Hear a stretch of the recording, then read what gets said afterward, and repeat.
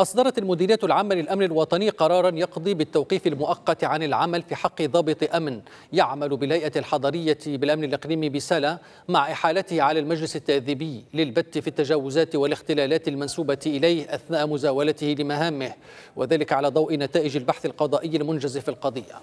بحسب المعلومات الأولية للبحث فإن الشرطي المخالف يشتبه في ارتكابه لأفعال إجرامية وإخلالات مهنية أثناء ممارساته لمهامه بمركز الحراسة بشاطئ البحر بسلا بسبب الاشتباه في استهلاكه لمادة مخدرة وهي الوقائع التي تم توثيقها في مقاطع مسجلة. وقد فتحت الشرطة القضائية بمدينة سلا بحثا قضائيا تحت إشراف النيابة العامة المختصة لتحديد الأفعال الجرمية المرتكبة بينما سيعرض الشرطي المخالف على أنظار المجلس التأديبي لترتيب الجزاءات الإدارية المقررة في حقه وذلك بعد الانتهاء من البحث القضائي المنجز في هذه القضية.